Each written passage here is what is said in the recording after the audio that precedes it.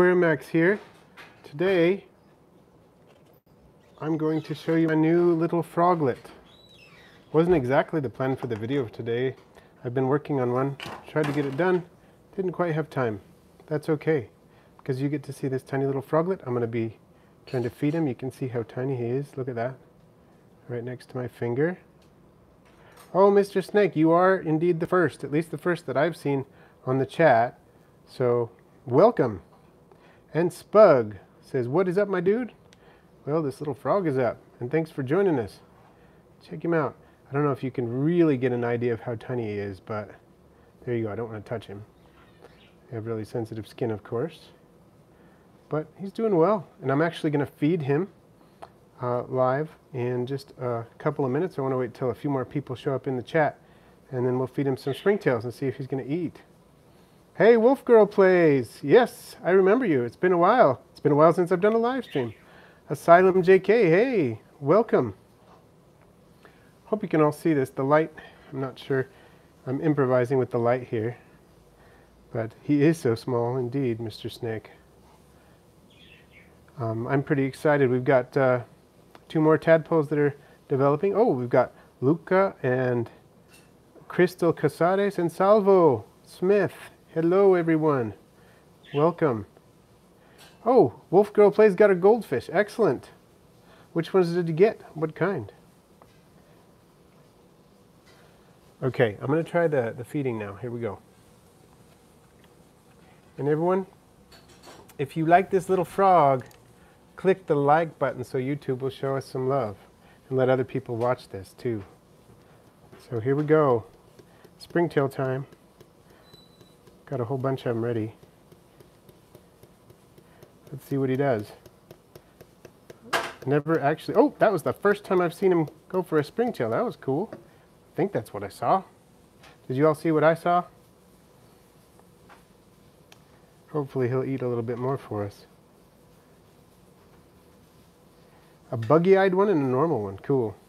I don't know what it is, but I love the buggy-eyed ones. Even though I don't usually like goldfish that have been modified a lot, I, I go for the buggy-eyed one, the telescope eyes, especially the Moors. Although some of the other ones like the pandas and different, you know, the panda telescopes and things like that, I like those too. Cool. I think the light is just, just a little dim. Maybe if I move it over a touch, is that any better? Um, Mr. Snake says, nope, I don't want to remove the chat. Sorry, I didn't mean to do that. I wanted to get some Azureus for a 40 gallon breeder. I was going to make it into a vivarium, but my grandma said no more tanks. Oh no. Well, hopefully sometime in the future you can do that. Oh, and Wolf Girl Place is one of the first ones died. Oh, I'm sorry to hear that. Hey Gwen, I wonder if you'd do me a favor. Come on over and see if you can aim the light. You know how to adjust that so it'll aim more towards the frog here? Um, you use the little spinny thing on the side there, and you loosen it, and then it'll let you move the light.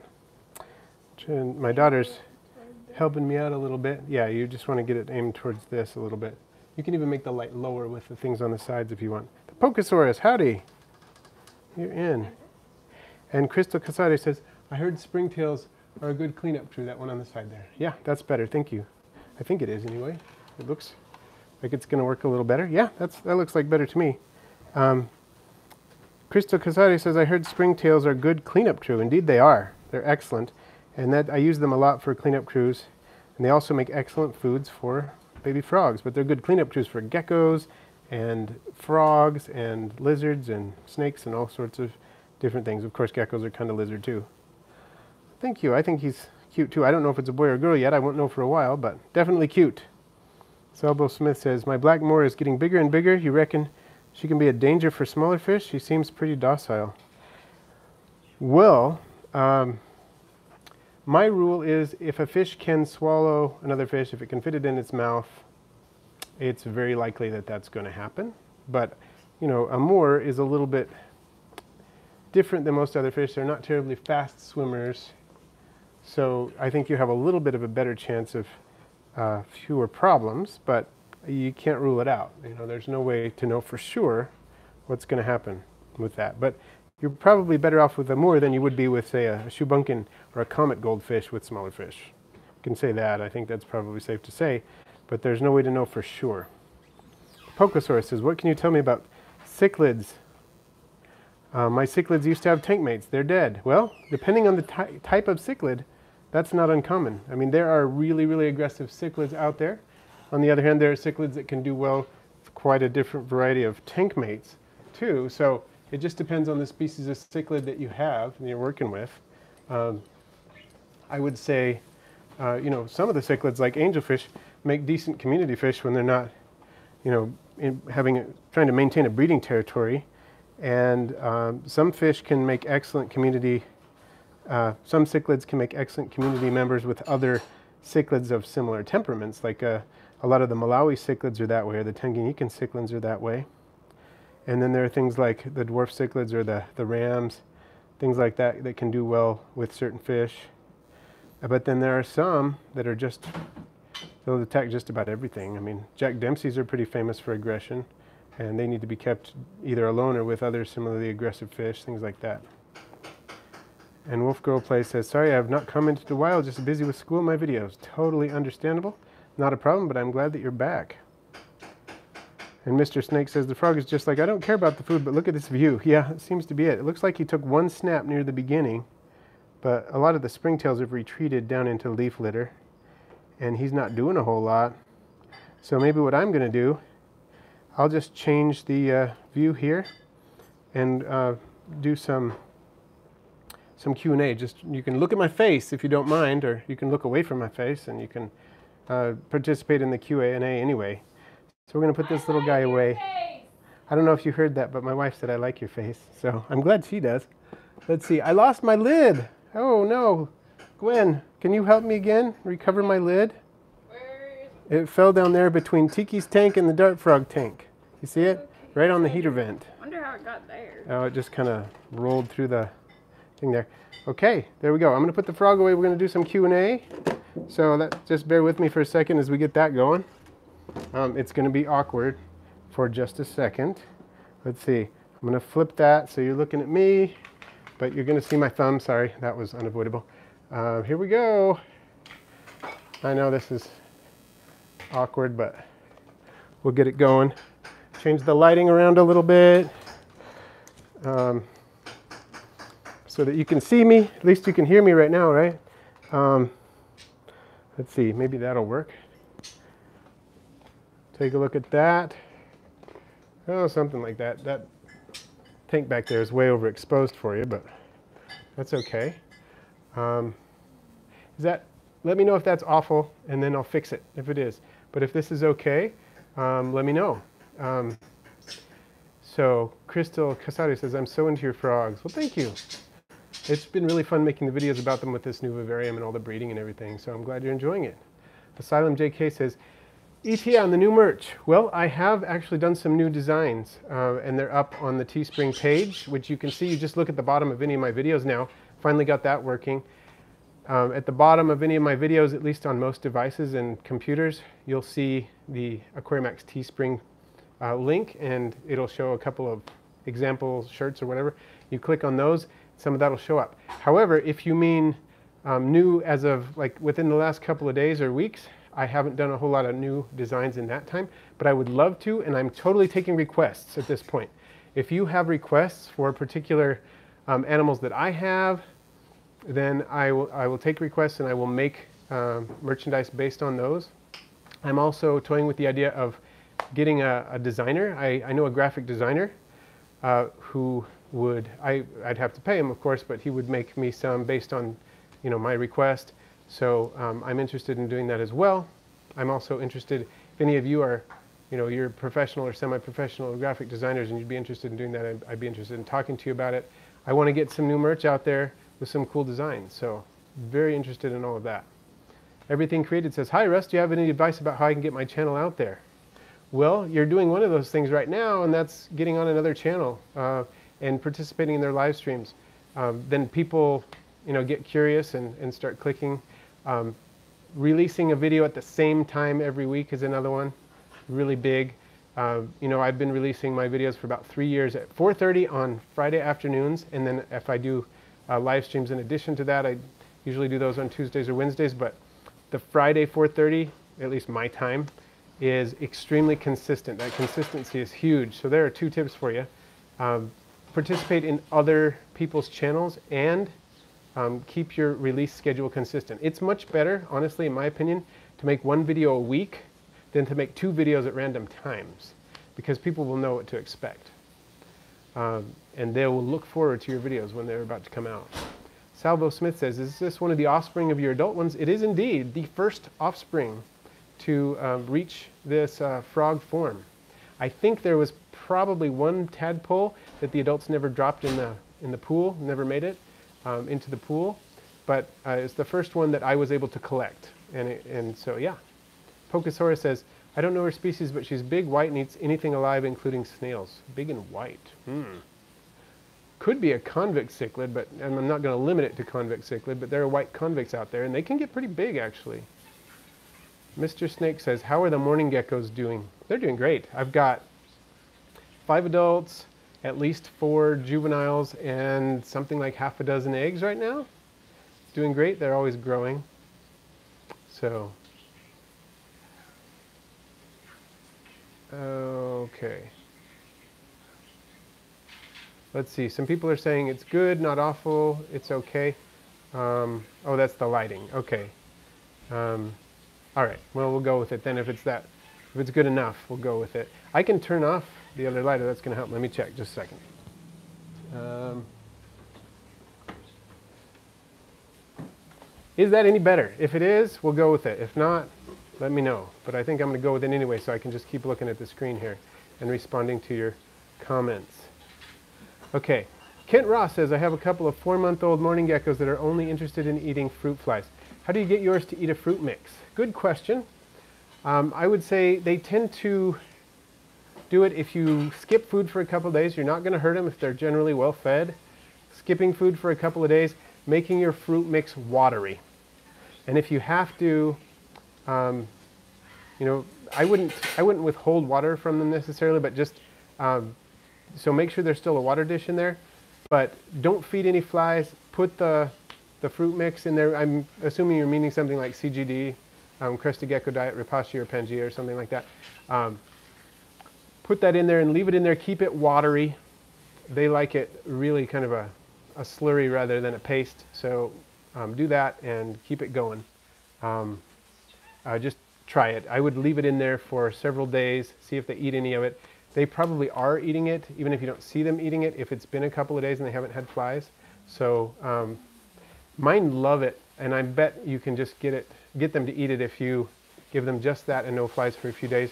And then you can put a few flies in to make sure they're not starving and then start over again. You know, you don't want to leave the CGD there any longer than about 48 hours ideally at a time, and then you can just start over again. Salvo Smith says, can hear your budgie. Yeah, he's about hmm, two meters away from me right now, sitting on my daughter's knee as she's reading. So, yep, he's, he's talkative. Crystal Casade says, do you have a red-tailed catfish? I see it on your channel sometimes. Oh, I do have that big, um, the big shovel-nosed catfish on the channel, but he's not mine. He's actually from a public aquarium near where I live. And he's in my, he's the one that says, subscribe. And uh, yeah, not mine. That would be cool, but I'd have to have a huge tank, and I don't have a tank that big, so. Uh, but I'm glad you, you recognize him, though. I think he's kind of a fun part of the channel, even though he's not personally mine. Uh, Mr. Snake says, Kent, I'm not sure what age is considered adult for mourning geckos, but I think as it is for most animals, they need a lot more protein when they're young. And they do seem to, to go after the flies a lot when they're young. When they're a few days old especially, they don't really like the CGD very much, and they'll do the flies. But after they're, you know, maybe a few weeks old, they'll start getting into the CGD. But that, I would agree. Will Ratsoy, hey, I remember doing that video for you. Yeah, he says, hey Russ, it's Will. You did a baby mourning gecko care video for me. I set up my custom 65 gallon and have two reticulated glass frogs, two imitator Varadero dart frogs, and four mourning geckos. Thanks for your help. Awesome. That sounds like a really cool setup. I wish I could do a 65 gallon setup. That is awesome. And everything created says you were able to raise the eggs artificially, correct? I thought the success rate was higher that way. Um, for the dart frogs, I have um, in in a sense, I have, but I not I didn't do anything with the eggs. I left the eggs where they were, and I know people do different things with that, but I honestly was not interested in raising a huge number of them. This was more for the experience at this point than it was for anything else. The experience of raising the tadpoles, so a small number was fine with me. So um, I didn't mess with any of that. I just removed the tadpoles from the main tank, which does increase the um, success rate as well. I noticed that if I didn't pull the tadpoles right away, uh, they sometimes disappeared and I'm assuming they were eaten. I just, I think I lost one tadpole only that way, but um, one morning right before I went to work, I looked in and saw a tadpole and I said, okay, mental note, as soon as I get back from work, I'm pulling that tadpole because I had to leave, I mean, right then. And I came right home, looked straight in the tank, and the tadpole was gone. So after that, I realized I couldn't do that anymore, and my kids pulled the next one before, you know, as soon as they saw it. So uh, it survived. And Wolf Girl Play says, okay, Russ, can you please give me some advice about making sure my fish are happy? Yeah, yeah, I can.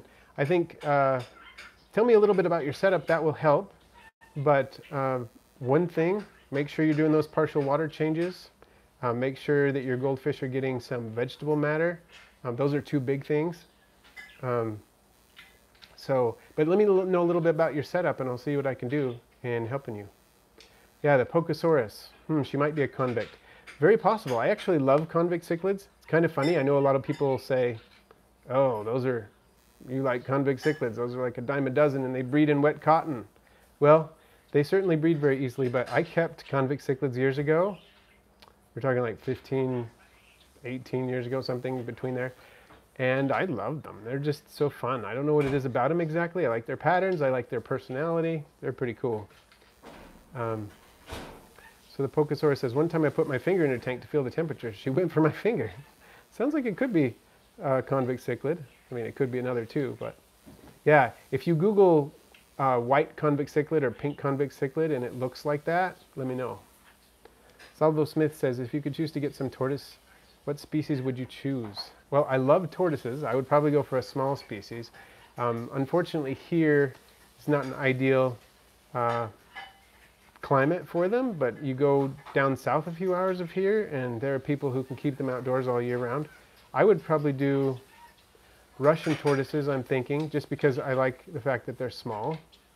Um, I do, I love sulcatas, but they're so big. Uh, when I was at the zoo in Hawaii, I, one of my tasks was to feed some of the larger tortoises, a couple of different species of tortoises, but there was a large, I, I believe it was a sulcata tortoise named Gladys.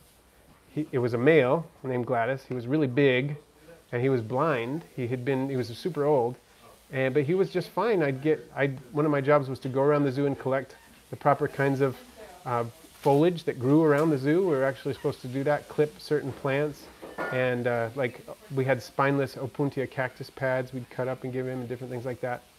And it was fun. I really, really got a kick out of doing that. Um, Lagiacris the Terminator is in. Welcome. And the Pocosaurus wet cotton. It was it's kind of a joke. People joke that um, that convict cichlids can breed in wet cotton because they're so easy to breed that you could just take a couple of fish and throw them in a container of wet cotton and that would be suitable enough for them to breed. Of course, it's not true but you can take, if you have a male and a female uh, convict cichlid in halfway decent condi conditions, it's almost certain that they're going to breed. So I think that's just where that comes from. Wolf Girl Play said, my setup is a triangle tank with a clear LED light with a submarine and some fake plants and a filter. Cool. How uh, big is it? How many gallons you got? And Quadro says, hi, welcome Quadro. Everything created says, uh, in my leopard gecko bioactive and the urates of the poop don't break down. Do you have this problem? My cleanup crew is Armadillidium vulgare, Porcellionides pruinosus, and springtail. Sounds like a great cleanup crew. You know, urates typically don't break down as well as the rest of the waste. So the actual fecal material that's produced is usually broken down very, very well by the bioactive crew. And the urates, not as well, but I'll tell you what I have found. My, the urates in our bioactive vivarium get broken down fairly well and I'm not sure why that is, but I think it may have something to do with the fact that mealworms are part of the cleanup crew. So maybe try that. Try throwing in uh, 15, 20 mealworms, and you might need to wait a couple of months. And just spot clean the urates, just pull them out, you know, put a glove on or grab a tissue or something like that. Spot clean those urates, pull them out, and then um, after your mealworms have been breeding in there for a while, see what happens. Uh, see if you don't have to clean it up quite as often because I rarely have to, and I think it may be because of the mealworms, but I'm not certain. Mr. Snake says, speaking of Russian tortoises, my teacher has one in a 20 gallon tank with no UVB, no supplements, and an overgrown beak. I feel so sad for it. Yeah, that is not, not good. That is a sad thing. Have you uh, gently approached the topic with your uh, teacher? Because not only is the size of the tank inappropriate, the no UVB is a huge problem. This, all of that's a problem, of course, as you well know. So um, if you can figure out a way to um, help that tortoise out, that would be great. The Pokesaurus says, my cichlid does move stuff in her tank a lot. One time I saw her move a fake plant and it looked like Pac-Man moving a couch. that's a perfect way to explain it somehow. I love that actually. Uh, and yeah, that's one thing about mini cichlids is they will rearrange the tank so you, it's not something, the kind of fish, well, there are exceptions, you know, some of the dwarf cichlids and um, angelfish and things like that you can do fantastic aquascapes with.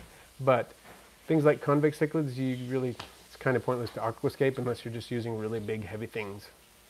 Uh, and live plants, probably not. Maybe you get away with something like Anubias, but yeah. So Wolf Girl Play said it is a 2.5 gallon tank. Okay. Uh, depending on the size of your goldfish, my thing I want to say, I want to uh, make sure that um, you understand what I mean, but um, 2.5 gallon tank is not going to last them very long. Uh, it, it, also depends on their size. Um, if they are, you know, maybe an inch long, they'll be okay for a little while, but as soon as you can, upgrade. And I would say don't bother upgrading to a 10 gallon, it's too small. I would say the minimum tank you want to upgrade to would be a 20. Uh, 20 long preferably for more footprint, and then you're going to have to get a bigger one later. And I hate to say it, but that's just the way it is with goldfish, that they're going to grow, uh, and if they don't grow, they're not going to be healthy, and if they grow, they're going to outgrow that tank. So, um, yeah, that's what I would suggest. So, Asylum JK says, have you ever had issues with scale on your vivarium plants? If so, how did you prevent it? I noticed some forming on one of my bromeliads. think I caught it early enough before it became a problem. Um, there are a couple things you can do with scale, and I have had Never in my uh, tropical vivariums, but in our leopard gecko vivarium, I introduced some um, jade plant in there. And I'm not sure if um, that is because, I'm not sure where it came from. I bought the plant at a nursery and I soaked it, I believe, I can't even remember now. I, am not as careful processing my plants when I put them in arid vivariums as I am when I put them in to tropical vivariums. I'm like religious about putting, about processing the plants that I put in my tropical vivariums, but not so much with the arid vivariums, and I probably should be, and I think I probably will be now, because I did see some scale insects on one of those recently. What I did, there weren't a ton of them. I didn't see a lot of them. So I took a toothpick and just kind of teased them off of the plant. And I, they haven't been coming back. The last couple of times I've checked, I haven't seen them um, at all. So uh, that um, took care of it for me. I've heard you can use like a, a, cotton swab dipped in alcohol, like rubbing alcohol, and touch the, the scales with it. That's supposed to help too, but I haven't tried that, at least not recently. So, But it did take care of it. The Pokesaurus says, I looked up convict cichlid and matches her just right. Cool. Yeah, that, that is awesome. I, I'm kind of slightly jealous because I really like convict cichlids. You know, I really like the, uh, the calico ones. They're amazing. And I think they're one of the, even though they, sometimes when you get them, they're kind of inbred and stuff, if you can find a nice one, they're kind of a good way to get a lot of cichlid personality and not a gigantic package. You still need a fairly big tank for them, but you know, you don't have to get a 100 gallon tank for one convict cichlid. So, cool. And Wolf Girl Play said, I'll ask my parents if I can get a bigger tank soon. Awesome. That's the best way to go. And Mr. Snake says, I've asked her to let me build a tortoise table. Well, that would be cool. That would be a great way to start addressing the issues that that tortoise needs help with. So excellent. Spug says, are you familiar with seed shrimp at all? aka ostracods. I know they're a type of Daphnia, but I'm not really sure what the difference is, if any. Well, they are, um, they're not exactly Daphnia, but they're related to Daphnia. um, Daphnia are cladocerans rather than ostracods, but they're related. And ostracods tend to be smaller, although there are some larger species. There are some species that I've seen that are larger than any Daphnia species I've seen, but in general they tend to be smaller. And they tend to show up in similar situations. A lot of aquariums have a few seed shrimp in them. If you get a tank where you don't have anything that eats the seed shrimp at all, they tend to start getting in larger numbers. So it might be like a shrimp tank or something like that. You might see more of them. They're not harmful. Small fish will eat them. And they tend to be detritivores, so they'll eat, you know, uneaten food at the bottom. They'll eat whatever kind of mulm or detritus um, forms at the bottom of the tank. And rather than spend most of their time in the water column, suspended in the water column like Daphnia do, they will usually crawl around and buzz around on the bottom. And those are some of the differences there. And they're called seed shrimp because the shape of their carapace looks kind of like a seed in some species. Some are too small to really notice it, but I've had species that are probably, I don't know, uh, almost a centimeter long. Some of the vernal pool species get pretty big. You don't really see those in aquaria. Wolf Girl Play says, I'll keep watching for a little while to see if I have any more questions. Excellent. Mr. Snake says, the Pocosaurus, I agree 100%. And also, have you seen the horrors of PetSmart and Petco? Well, sometimes that can be an issue. Um, Mr. Snake says, how do I reply to the comments? I feel slow. Let me see if I can speed up the comments a little bit. Let me know if that helps. I just tried switching it to live chat from slow chat. Everything Created says, do you ever have problems with people trolling your live streams? I had it happen once and it was very awkward. Yeah, once in a while. Um, I have had that issue. Jack Bordeaux says, I have a mourning gecko and a blue dart frog, can't spell the name. What size tank would you recommend? So there is time for the geckos to breed and if I want to get two other darts. Okay, if you're going to get two other darts, I'd suggest getting one like the one back here, uh, 29 gallon or so, or bigger if you can, but uh, probably at least a 29 gallon because the rule of thumb is about uh, 10 gallons per frog. And then the dart frogs and the mourning geckos are not really going to use the same space all that much. And that tank would be big enough for, I would say, at least a dozen mourning geckos. Now, honestly, I don't necessarily recommend keeping both mourning geckos and dart frogs together. You can do it. it, it will it'll work. But uh, I think the humidity levels required by most dart frogs is a little higher than the ideal for mourning geckos. Not that they won't breed and they won't be fine. Mourning geckos are pretty hardy, but uh, they seem to do better when the humidity is just a little lower. And they get a little more ventilation. It's probably more the ventilation than the humidity. They just prefer the air movement and so on. But it can work for you. Spug says, I plan to add some seed shrimps to my tank to act as a cleanup crew, almost like springtails. And yeah, they will do some of that. I don't know if they're quite as effective at springtails, but they'll definitely be part of that ecosystem and, and uh, take care of some of that food. That uneaten uh, detritus and things like that. I mean, you don't want uneaten food in the tank anyway, but you know, whatever small scraps the fish miss, the ostracods will help pick that up, and then the fish will have snacks as long as you have fish that are appropriately sized. Wolf Girl Play says, okay, here's a question for you. My fish have lived for about five months now. Do you know how much longer they will live? Well, if you're able to get a bigger tank for them and you're able to give them all the care they need, a goldfish can live for many, many years, several decades. Uh, at least 40, more than 40 years is the record.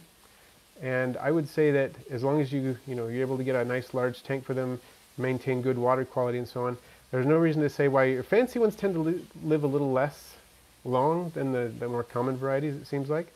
But um, probably, you know, you might have half a dozen years or more with the, the fancy one, and you could have 20 or so with the other goldfish. I have had, the longest goldfish I've ever had was 16 years, and it probably lived longer than that, but I was moving to Hawaii uh, at a certain point. I had had the fish for 16 years and had to moved to Hawaii for a job, and so I couldn't bring the goldfish with me, and so I had to find another home for it. So it may be alive for all I know. I mean, that would be a long time, but not unheard of. So yeah, they can live a long time if they're they have everything they need. Pocosaurus says, do you have any experience do you have with birds? I've actually had quite a few birds. Um, mostly things like uh, budgies, like the budgie we have now. I've trained and uh, raised budgies uh, you know, for a long time. Started keeping them when I was a child. I also um, kept and bred zebra finches And I raised several orphaned wild birds when I was young, notably a quail and a starling. The starling would fly back, uh, lived outside and would fly back and land on me and beg for food, things like that. So um, I have kept other birds too. We kept a cockatiel for a while that we rescued.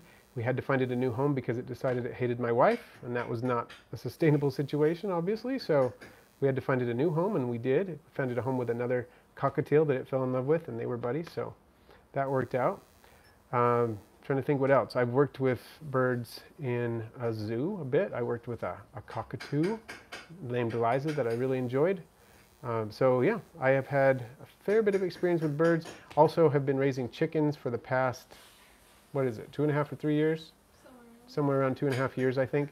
And uh, we've got 10 chickens in the backyard. So I've had a fair amount of experience with birds.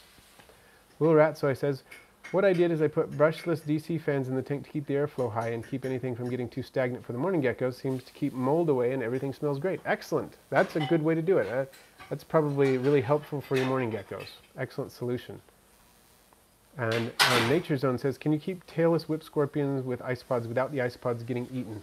I keep dwarf isopods with mine, and I've also put uh, Porcellio scaber isopods with my tailless whip scorpions without any problems. Um, I know that they will sometimes eat the larger isopods. They don't seem to bug the little ones, at least the adults don't. So dwarf isopods seem to work well. I've also used uh, the Costa Rican purple isopods. And Wolf Girl Play says, thanks, you're really helpful. Excellent, happy to help. Pocosaurus says, I have a group of goldfish in a backyard pond and they survive the winter. Yeah, they will unless they free, freeze all the way. Um, freeze all the way through. They're usually pretty good. So um, someday I want to do a goldfish pond. I don't know when that's going to be, but I would love to do it. Pocosaurus says the big one is black, so I named, named him Ancalagon. Excellent, you named him after the dragon. I love it. Ancalagon the Black from the Lord of the Rings. Asylum JK says, I've had my dwarf white isopods for about two months, and I haven't seen the culture get much larger. Keep the enclosure fairly moist with one dry zone for self-climate control. Feed them squash, high-protein fish flakes, and eggshells. Doing something wrong. No, I don't think you are. Um, sometimes it takes a while to get kind of booming. You'll notice they're not doing much for a while, and then all of a sudden, boom, you see everything. Um, what is your temperature, though? You can get dwarf isopods, dwarf white isopods, to go crazy if you can keep them like in the high 70s to low 80s. They'll, they'll breed really fast. Um, I would also make sure you got plenty of leaf litter in there. If you have just like uh, the cocoa fiber, they'll do okay, but you put the leaf litter in there and they'll go like crazy. Brubby TV, hey, been a while, nice to see you. Mr. Snake says, my boop noodles are derping around. it's funny how I'm learning the, the, the internet slang. I wouldn't have understand the, I wouldn't have understood that a while ago, but my son has taught me some of that. And some of my other kids have taught me some of that too. So I, I know what you mean. I'm kind of amazed, but I do, which is pretty cool. Nature Zone said I meant duck isopods at $25 each because they're both from the same place. Oh, okay. So that's the kind that you Oh, you know what? I would not keep the duck isopods with them just because if you do lose one, that's $25 down the hatch. And so I wouldn't. Um, you could try putting something else similar to the rubber ducky isopods and see if they totally ignore them, then it might be safer to do. But honestly, with that kind of uh, risk, I wouldn't do it.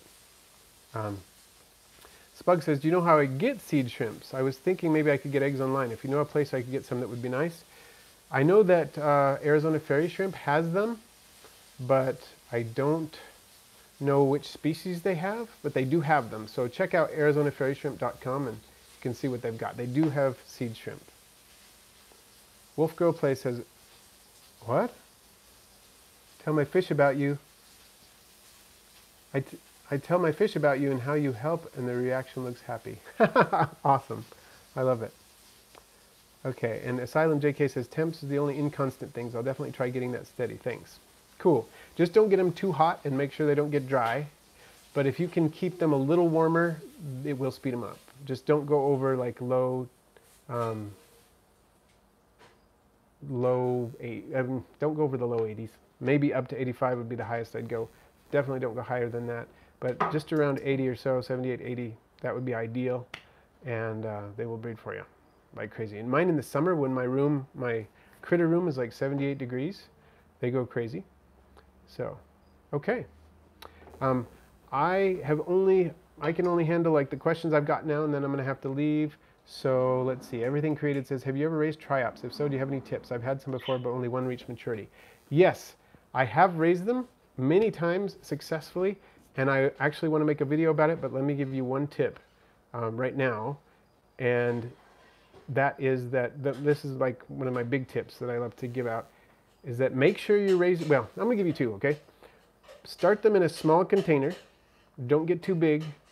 Don't put too much sand or whatever, detritus, anything. Don't put a lot in. When you first start, it will overwhelm them and get too much bacterial growth. Um, so start out in a small container. Make sure you're using distilled or RO water. Don't use just plain spring water. It doesn't work very well in general. And what I would suggest is to get a microworm culture before you get the triops and feed them a little bit of microworms like after day one. That seems to really increase the survival rate for whatever reason. I think it's because they need to get the right kind of food in the right in a small amount of time. Um, and it's it's kind of hard to get the food density you need, but the microworms help with that. Chameleon I've never kept. Um, Nature Zone. I, I, babysat one, but I've never kept one. Crystal Casati said poison dart frogs only poison in the wild. Right, that is true. Either captive bred ones don't have toxins, and the uh, even wild caught ones don't have toxins after a while. Pokesaurus says, I have two Swedish ducks. I named them after the dinosaurs. Sigilmassasaurus and Oxalaia. Cool. And your axolotl Benny has officially been announced as the king of the world. Well, that's cool. We have an axolotl, but we haven't had any announcements of royalty about it. Um, wolf Girl Play says, what's your favorite animal? Mine is a wolf. Also, how many fish do you have? Well, it is one of my favorite animals. If I had to pick one, it probably would be a wolf, honestly. I have a wolf necklace. It's pretty cool. I should wear it sometime in the live stream. And how many fish do I have? I don't know because we have two goldfish. I have 11 um, multi-cichlids right now, one gold barb, and like who knows how many Endler's livebearers. Lots and lots of them. Mr. Snake has raised a panther chameleon from an egg. Awesome. Okay, so last question, then I got to go. Thanks for joining us everywhere. Nature Zone said, what was your first pet? It was a Shubunkin goldfish. It was probably actually a calico comet goldfish. But uh, his name was Peter, and I was four years old, and he was awesome. So thanks for joining. Hit that like button in the next 10 seconds if you can, if you would want to. And hope you all enjoy your weekend. And thank you all for joining us so much.